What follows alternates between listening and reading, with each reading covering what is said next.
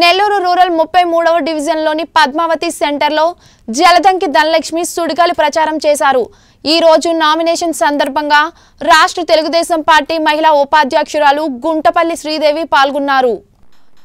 ఈ సందర్భంగా ఆమె మాట్లాడుతూ తెలుగుదేశం పార్టీ గెలుపు పొందుతామన్న అంచనాలు ఉన్న స్థానాల్లో ముప్పై మూడు కూడా ఒకటి ఉండటం గమనార్హం అని అన్నారు. తెలుగుదేశం పార్టీ అభ్యర్థికి ఇక్కడ విస్తృతమైన పరిచయాలు ఉండటంతో టీడీపీ అభ్యర్థికి ఇక్కడ అడ్డుకట్ట వేయాలంటే అంత ఆసామాషి కాదన్నారు. అధికార పార్టీ ఎలాంటి బెదిరింపులు చేసినా ఎలాంటి అవంచనీయ సంఘటనలు ఏర్పరిచినా ఈ వార్డులో గెలిచి తీరుతామన్నారు.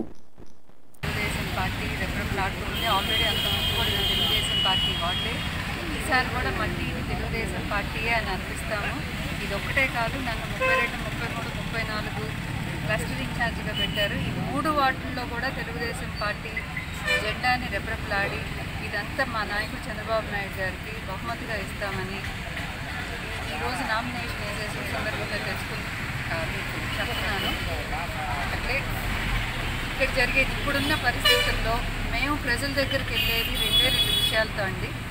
కార్పొరేషన్లో చెత్త మీద పన్ను మరుగుదొడ్ల మీద పన్ను ఇట్లాంటి అనేది రేపు మా పార్టీ తెలుగుదేశం పార్టీ కార్పొరేషన్లోకి వస్తే మేము ఈ రెండింటి మీద పన్నులు అనేది తీసేస్తాము. అది మా నాయకుడు చంద్రబాబు నాయుడు గారు ప్రతి ఒక్కళ్ళకి ప్రజలకి చెప్పమని చెప్పారు.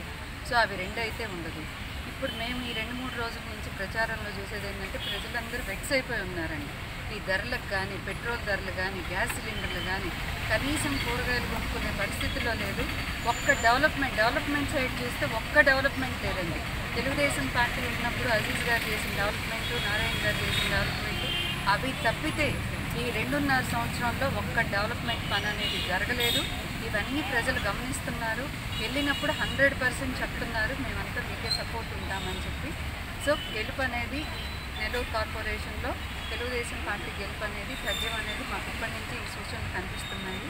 నాకు ఈ అవకాశం ఇచ్చినందుకు ధన్యవాదాలు. తొందరగా వాళ్ళు బెదిరిస్తుంటారు బెదిరిపోయే వాళ్ళమైతే ఈరోజు ఈ నడి రోడ్డు మీద నిలబడి మా జెండా పార్టీలు జెండా కండవాలు వేసుకొని మేము తిరగంగా బెదిరిపోయే వాళ్ళం అయితే ఈ ఉండేవాళ్ళం.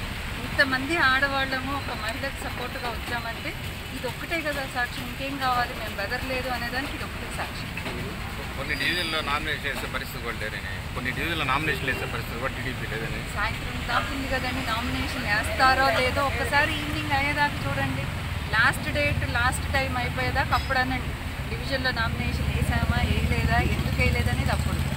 మాకు ఈ రోజు మంచిదని చెప్పి ఈ రోజు మార్నింగ్ నుంచి మేము స్టార్ట్ చేసాము. సాయంత్రం అయిపోయేలోపు ఒక క్లారిటీ ఎన్ని పడి ఎన్ని పడలేదని. కొంత అధికార పార్టీ అయితే ఊరేగింపులకి పర్మిషన్ ఉంది పోలీసు వాళ్ళు ఇస్తున్నారు. కానీ అధికార పార్టీకి పర్మిషన్ ఉంది ఊరేగింపులకి. మరి తెలుగుదేశం పార్టీ సింగిల్గా పోయి నామినేషన్ వేసే పరిస్థితి వచ్చింది దానికి దాన్ని ఎలా లేకపోతే జనాలతో పోతామా ఇది కాదండి. రేపు మేము పార్టీ గెలుస్తామా లేదా నామినేషన్ వేసామా లేదా పార్టీ గెలుస్తుందా లేదా అనేది మా టార్గెట్ మంది మార్బలం మాకు అవసరం లేదు. మాకు అభిమానంతో వచ్చేవాళ్ళు చాలు. ఇక్కడున్న ఈ కొంతమంది మమ్మల్ని చూసినా అసలు మాకు జనాలతో పని లేదండి. రేపు మేము గెలిచి చూపిస్తామండి.